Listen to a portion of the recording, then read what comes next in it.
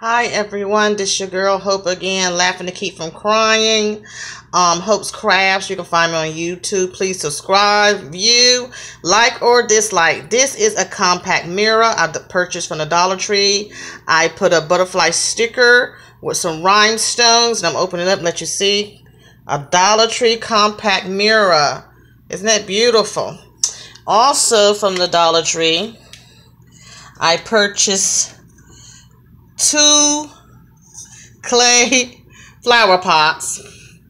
And what I did was I painted them all different colors and put some rhinestones and some um I don't know what you call it cloth glitter cloth and just hot glue them together.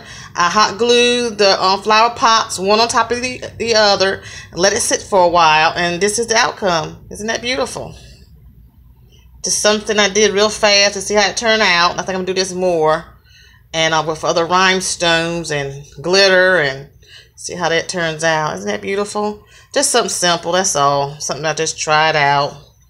Um, also, you can find me this weekend at Abundant Life Church of God. They're having a yard sale,